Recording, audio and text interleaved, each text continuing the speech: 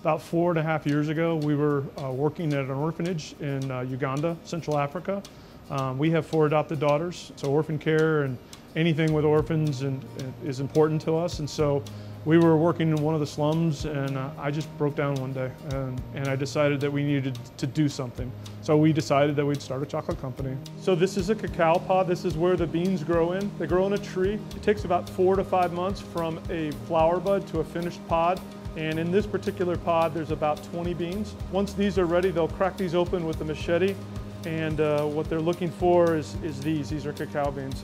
Um, each bean weighs, like I said, about a gram, and so it takes about 450 to create a pound of chocolate. We take a portion of our, of our profits and we pour it back into the places that we source chocolate from around the world. At this point, we've sourced chocolate from about 12 countries. That direct sourcing, so relationships and trips, we've done four of those. Um, and the goal is to do a couple per year. Um, takes a lot of energy, a lot of time out of the shop to, to go and build relationships with, with cacao farmers. And so we try to get three of those a year. So we're gonna sort through here, make sure we don't have anything that could hurt our machines. There's a piece of plastic in there that needs to come out. So we're, we're kind of doing a manual inspection. This is from northern, northern Uganda. We'll weigh out a 20 pound batch and then this is gonna, once we've weighed it, we'll move over and we'll start to roast. Roasting again is what helps us bring out the flavors. It kind of, if you think about it, it kind of elevates all the flavors so we get the best flavor we can possibly get from the bean.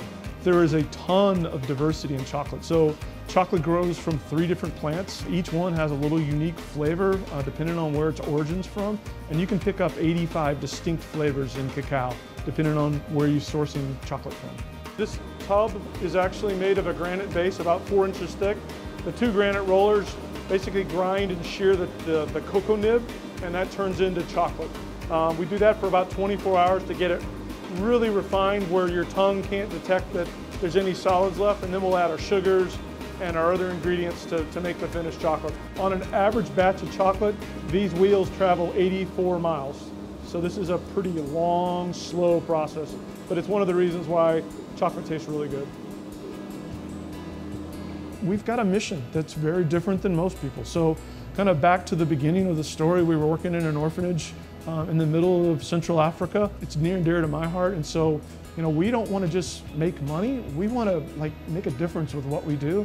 And so while the chocolate's important, it's even more important for us to, to give back and to pay it forward. And so every time someone buys a Kyya chocolate bar, they're, they're involved in that process of, of making a difference, not just in our community here supporting Kyya, but also supporting our farmers and those communities that we're sourcing from.